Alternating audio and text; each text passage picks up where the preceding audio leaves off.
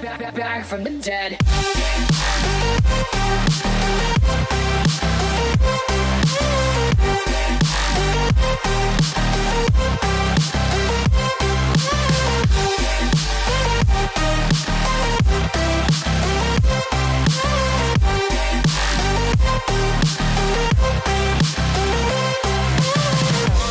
Ladies and gentlemen, ladies and gentlemen,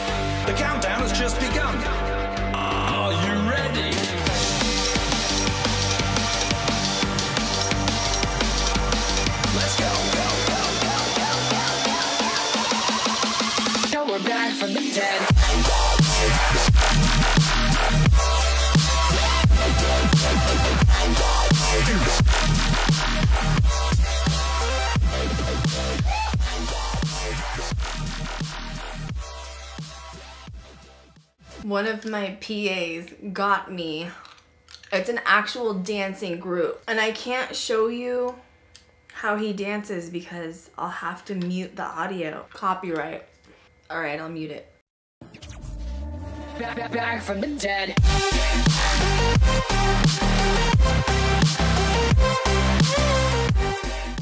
And then what's cool when it's done for 30 minutes after it dances, like it's like an auto shut off.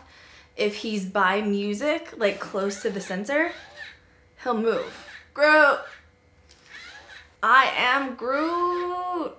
What's up, guys? Welcome back to my channel. I actually have a couple old videos that I didn't like the production value, and so they are on private, and a bunch of you have been messaging me mad because you can't access them. So I'm gonna go back and touch on a couple of old subjects that I've done before and apply any new knowledge that I can give you guys now. So the question always arises are Ouija boards opening the door to the devil? Well, if you get technical, if a Ouija board is opening the door to the unknown, so is a digital recorder and a Melmeter and um, night vision and XCam and should I keep going? That's my opinion on a Ouija board. They are no different than any other piece of equipment that we use. Not different at all. Okay, I have a Ouija board here. I don't think this one's been used actually. So on the bottom it says ages 8 and up, just in case you need, you know, to know the age limit. There's some meme going around the internet that I shared at some point that was like, so you have to be 21 to drink alcohol, 18 to get your own house, 16 to, you know, drive, and 8 to summon demons. Ouija boards don't scare me at all. The hype behind Ouija boards being dangerous is all thanks to our friends in Hollywood. I think that any piece of equipment, including a Ouija board, can be used maliciously, and perhaps then you probably shouldn't use that particular Ouija board. But even then, if you guys want to look up a guy named Robert Murch, he has like the world's largest Ouija board collection. He collects Ouija boards from everywhere, literally. Even Robert Murch is like, they're not bad like people claim that they are. But Hollywood makes them bad. In fact, Robert Murch was on the set for the movie Ouija. So he helped actually with the planchette when they look through the eye of the planchette and there's a bunch of apparitions. He like I guess one of the kids that was on set was like, "Oh, if you hold this up and look through it, can you see the spirits?"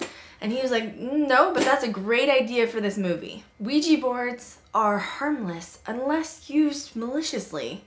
But then again, a digital recorder can be used maliciously. A spirit box can be used maliciously. As much as I say about, you know, Ouija boards don't scare me, I was not a kid that played with Ouija boards. So I wasn't like a kid down in my grandma's basement hanging out playing with a Ouija board by myself, that's kind of creepy. Like that's you're getting into a different realm. I just believe that a Ouija board is like any other piece of equipment and if you're to use it to contact the other side, don't be shocked when something comes through. And even like with a digital recorder or an Ovilus or whatever else, you can't see the apparition that you're having a conversation with. So you don't know if it's good or bad. And the same goes for if you're using a Ouija board. Now, I am a little superstitious, I'm not gonna lie. I cleanse my Ouija board before I use it. I cleanse my Ouija board with salt water or holy water, whatever, you know, specification you wanna use on it. Oh, there's dowsing rods. That's what was making that noise. Did you hear that? These are dowsing rods. We'll do another video on those. So here's one planchette. This is a light up kind of glow planchette. This is an actual glow in the dark planchette. I have both of my Ouija boards in here actually. So if I'm ghost hunting like with my crew, I take my glow in the dark Ouija board. If we use it, do I use it all the time? No. Honestly, to use a Ouija board, you have to have a lot of patience, still hands, and depending on how you're sitting, eventually your legs are gonna fall asleep, seriously. Which is why I don't use them all the time. So this is brand spanking new. I haven't even used this once yet. This is your basic Ouija board right here. It's a piece of cardboard and people are like, don't use a Ouija board. Oh my God, you're gonna bring out 666 and the devil himself is gonna show himself. I'm like, please you guys Y'all have watched one too many scary movies on HBO. Why do I not think a Ouija board is scary? I've used it a lot. I can't lie and say that I haven't had things bad come through on it. There is a so-called demon of a Ouija board or the Ouija board, which is called Zozo. I have had something come through claiming to be that. Although I've called it out and said I don't buy it, and then it pretty much goes away. Oddly, most of the times I have done my communication through Ouija boards, I never do it alone. I only do it with someone that I trust. You have to make sure someone is documenting it so that if you miss a word or, or mess up something because it's dark that you're able to fix it later. It can get really tiring, honestly, the way you have to hold your hands where you're just barely holding the planchette. And what you what I first do to give you guys advice if you haven't used a Ouija board is I will sit down and I'll say, "Okay, you push the planchette so that I know what it feels like." And the other person pushes it towards me.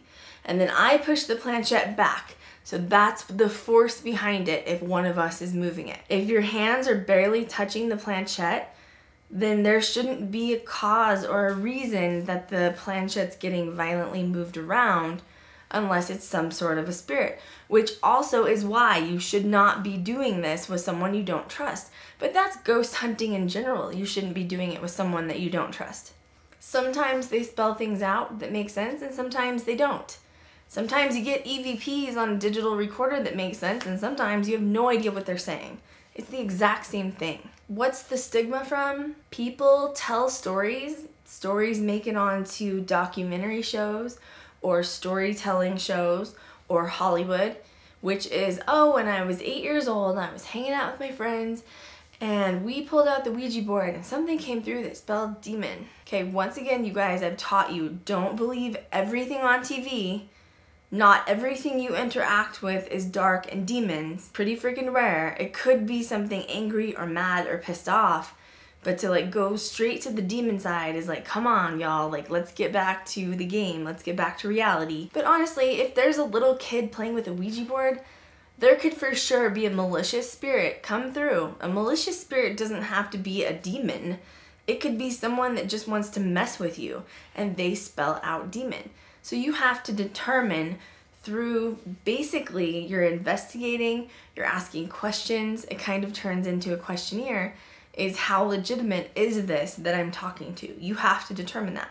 And honestly, when you hear people tell stories of like, oh, I was eight and I played with the Ouija board and it freaked me out, and this is what happened, actually moved, of course it's gonna scare everyone because it kind of puts the other realm of the other side into our realm which it can physically manifest something and move something, and of course it's gonna scare people.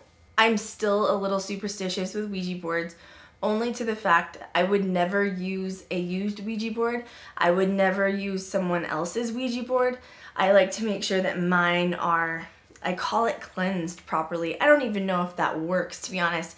I guess it makes my conscience feel better army bases and navy bases, air force bases, everything is so old so it's usually really haunted like all the ships obviously. So I got this phone call really late at night and Blake had been doing it's like a night watch basically. He had to stay he had to stay in the barracks which is where the soldiers live for 24 hours. He had watch. So he called me at like 1 a.m and him and this other soldier that were on duty they were like sitting in the main hall just watching cable TV. They basically have to make sure they keep the riffraff out. No one underage is allowed in, that kind of thing. And they said that the elevator uh, kept going up by itself and down, and then the doors would open and no one would be there. And they said it happened like six or eight times. It just kept happening. They were too busy watching TV. They didn't really care what was going on. So at some point, they decide to walk over to the elevator because they think maybe they need to call maintenance to come in and fix whatever's happening with it. They're afraid someone's gonna get in the elevator and get stuck. So they walk up to the elevator and the doors open and inside of the elevator is this Ouija board and it was this color so it was a lighter Ouija board. It wasn't a glow in the dark one. And someone had written like horrible like definitely satanic stuff on it. Um, there was a lot of like 666 on there.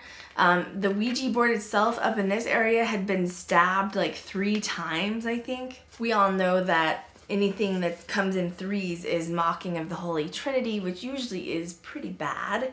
Even if it was someone just practicing, you know, being satanic or whatever, black magic, I don't know. So Blake is a little naive at this point and he picks up the Ouija board and thinking nothing of it. Um, he calls me and says, well, what should I do with it? And I was like, probably throw it away. I don't know why he decided to bring it to our house, but he did. We had nonstop movement, like traffic, in the upper attic area of our house. That's another story. We're gonna have to talk about that someday. Anyway, we ended up moving, and the day we moved out, I found the Ouija board outside. He'd put it kind of by this like outdoor, um, sort of like decked in um, shelter where they kept like extra wood for the fireplace. I said, "Where? Why has this been here this whole time? Like, what's going on?" He's like, "Oh my god, I totally forgot we even had it." So we didn't want to leave it there for the next renters that had moved in. So we decided to take it I think we took it to like a Wells Fargo dumpster and put it there because I had no idea that it had been hanging out at my house that whole time. So I will say that I do have some reservations when it comes to using other people's Ouija boards or using Ouija boards that I don't know you know what they have been used for in the past like was their purpose for um, you know, intentions of being good, or was it used in the name of, you know, Satanism and black magic? So that's what makes me nervous. Now, according to Robert Murch, once again, if you guys want to know like the history behind Ouija boards and like everything you could want to know about a Ouija board, look him up because he has an awesome blog and website about everything. Robert Murch swears that nothing can get attached to a board and he owns hundreds of them and he never has any problems in his house and that it's just it's like an old wives tale basically. I just can't help that like i've had an experience where i was like i just don't i don't agree with you. I'm so sorry. A lot of people are like touching or looking at a ouija board. Scares me. It just scares me. Like come on guys. It's it's numbers and letters on a board it's nothing like they depict in the movies.